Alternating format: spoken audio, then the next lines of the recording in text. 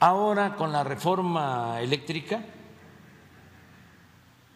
vamos a poder sentarnos con las empresas y a ver, pongámonos de acuerdo.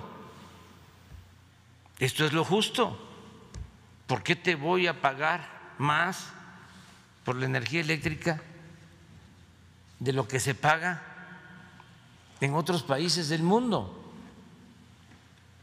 ¿Por qué te voy a dar subsidio si en el mundo no hay subsidio?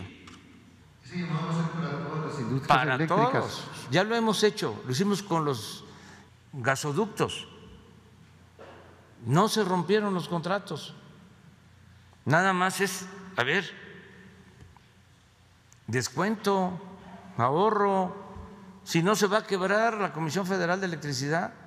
Y antes no les importaba, pues era lo que querían. Pero imagínense, se quiebra la Comisión Federal de Electricidad.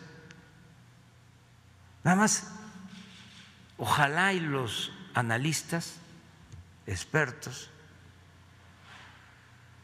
revisen lo que está sucediendo en Texas. Bueno, le están cargando los daños ocasionados por la nevada y por la falta de gas a los consumidores.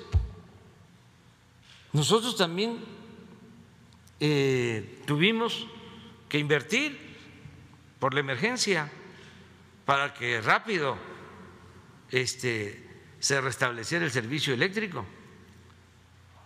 Pero nosotros no le estamos cargando al consumidor el costo. Lo está asumiendo la Comisión Federal de Electricidad. Gobierno de México.